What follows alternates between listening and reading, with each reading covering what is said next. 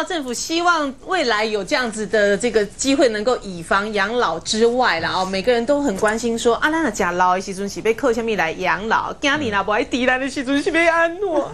对，来，来，张胜书老师，我们从这个各主星哦，紫薇来看的话哈，要靠什么养老哈？我们对自己哈是比较有保障的。嗯好，到老的时候大家都怕了啊。嗯，但我们来看啊，每一种类型的人，他有不同的依靠啊。嗯，比如说合作型，什么叫合作型呢？就是主星有太阴、天梁和天同这三种类型的哦。比如说慧珠，哎你就是看命宫，你看命宫，它天同太阴两颗都是合作型的哦所以我们看呢，合作型的人在老时候可以靠儿女哎啊。啊因为好相处所。以生三个是对啊，对对的。对哎，对对对。哦，生三个也是因为你跟你先生都很合作，不会拒绝。对，所以这里打错了，这里打成靠女儿啊，哦千万电视机朋友要小心，如果一看错了，以为靠女儿，从此天下不重生男重生女，那就糟糕了。靠儿女，靠儿女。那这年头本来就是靠女儿比较有用。对哎，说的也是啊，但是我们刚刚讲也确实，合作型的人因为哈性格比较温和，其实跟小孩子的相处都非常好模。式小孩子相处来讲，相处来讲，他们也会变得比较孝顺。哦，好，那再来呢？支援型的朋友呢？支援型有哪几个？太阳、巨门和天机。哎哦，像我们这是巨门，对不对？对，好，这一类型的朋友呢，要靠朋友。啊，靠朋友养老，哎，对，没错。可是我常觉得朋友不太牢靠，要改变一点观念。哎，那这个时候朋友就来靠你了，对不对就是因为你比朋友好，所以大家都来靠你啊。这倒是可是等到老来的时候，这时候换了朋友来帮忙啊，了。对对对。其实这颗支援型本身在朋友部分上，因为很热情，啊交朋友上面啊，朋友之间的互相帮忙来往很多，所以呃年老的时候，尤其是年老时候啊，没有朋友会无聊死了。啊，对对对，我朋友要多的，对，再来呢，领导型的朋友啊，比如说，哎，领导型是领导型有哪几颗星？对哎紫薇、紫薇天天府府、武曲和跟天天象所以赌林哥或者是哎叫我怎么叫赌林哥呢？赌林弟。啊，和木华也是了，对不对？是是。好，这一类人哈，真的最简单，靠财产，靠财这个是产。靠自己，是很不是？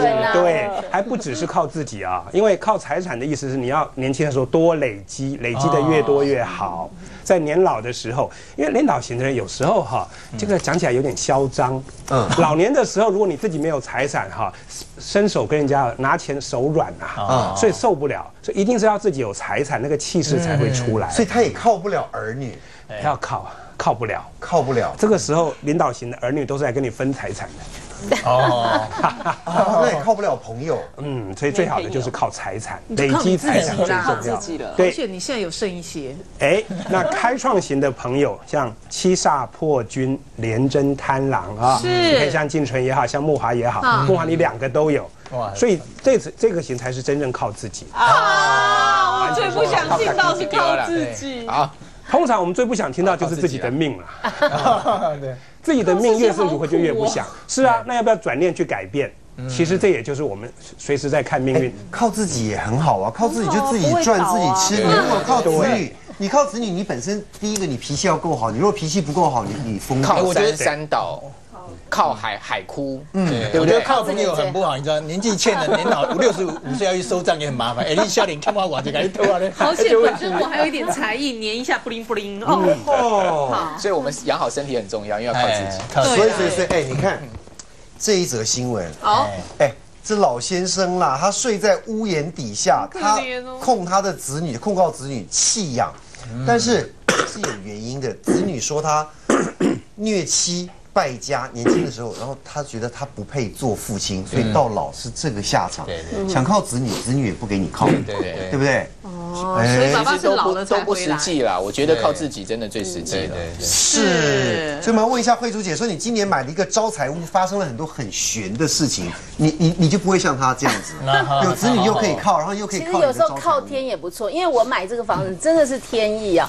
我我先我跟先跟你们说，我是什么时候搬进这个房子？这个房子是我是二月二十一号搬进去的。那我后来查一下，那二月二十号的那个股价指数在四千四百三十六点。那所以从它大概大概还有一个礼拜的时间，那个礼那个时间可以布局，大概从三月三号开始。那个指数就一去不回头，就一路飙到现在快接近八千点。你看这中间涨了一倍，那其实我现在的资产也增加了很多，算是以以以倍数计的。一计就对了，没有以倍数计对了。那你知道吗？其实其实很好奇，他做员没有哎呦，他现在生意做大的嘞，你都不知道没有，你要讲，其实。你回到说当时就是回到这个两三年前我买这个房子的时候，他真的是，我觉得那个真的是那个地基主一步一步设计我来买这个房子。对，因为我当时其实我那时候我住在新一路安和路那边，那我每天会经过那个。新一路安和路和丽玲的林，没有不后面啦，后面的巷子里的那个公寓了。他真的是邻居了，对。那我们就是我每天都会经过那个十字路口。那事实上他，因为我买那时候买的是预售屋嘛，他就有一个看棒，就是在那个路口那边。其实我看了半年，我都不曾心动过，因为那个房子其实并不是我的 我的那个 target 的目标嘛，因为他在中正区，然后又是、哦又不是我我符合我的评数，所以我都没有看他。就有一天我们去呃大安森林公园附近看一个房子，那一一去他就说那个房子是呃已经卖光了。那他说哎、我们同样一个销销售公司有卖另卖我现在住的那个房子，我们说哦那个我不要，那就没就没有去看。但是有一天我跟我朋友，我有朋友他要去看呃我现在住那附近的房子，他就说哎、我们去看。后来打给那个销那个业务员，那个业务员就说呃我现在在北投，我要半小时才才会来。那我们半小时很无聊啊。我朋友说哎、对对，我们到对面去，那边去喝杯咖啡等那个业务员，所以去喝杯咖啡就是全世界最贵的咖啡，就是我买的那个房子的那个咖啡。对，不是安和路，就是在那个中正区那个地方。是所以后来我就我就我们就去了，当然那个房子其实他已经卖了半年，其实只剩下最后一户嘛。嗯然后就是他，我们刚刚当然那个就是苦主上来，当然强力的。促销那个房子，那但是就是说，其实呃，那个我们那时候其实为了为了等对面那个业务员嘛，所以我们喝了四杯咖啡，就想说啊，我朋友就说，哎，你就给他随便签一下，你就付个什么斡旋金，反正一个礼拜可以退啊对，因为我们也不想要买那个房子。后来我们就真我就真的刷刷卡付了斡旋金，然后我就就走了，我们就去看别的房子就，很冲动哎。就只是给人家喝了四杯咖啡，喝了四杯咖啡，就我朋友就叫我赶快刷。后来其实你知道发生什么事情？就是其实我一刷了之后，因为他们只剩最后一户，那那个代销公司他如果把那一户卖掉，他。嘛，所以他那个礼拜就来对我强烈的行销。那事实上我是不喜欢那房子，因为那房子在中正区，我觉得没有那种时尚感觉。我原来住东区嘛，可是我先生 我先生就蛮喜欢，因为他其实蛮隐秘，然后一层一户，他就蛮喜欢的。可可是他我就我就不要，为了这事情我们还有争执。